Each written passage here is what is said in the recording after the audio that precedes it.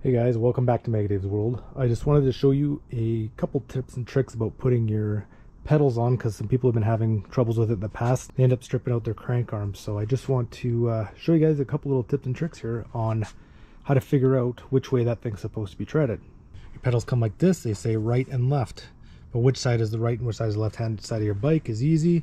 It's when you're sitting on it. Your right is your right, your left is your left. Easy to remember that. So one, one trick I do. I'm putting on my pedals, and this works for any mountain bike. It doesn't, or any pedal bike. Doesn't have to be a Rize, just any bike at all. You notice that it'll swing backwards, right? Take your right one, put it in there, and let it turn backwards. No pressure on it, just let it twist. This is how you know you're twisting it the right way. If there's any resistance at all, you're doing it the wrong way. Hold it all the way in there till she's as tight as it goes.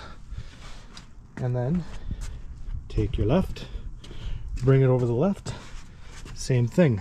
It only spins one way, right? Put it in and spin her backwards. And that way you know that you're putting them on correctly. There should be no resistance. If there's any resistance,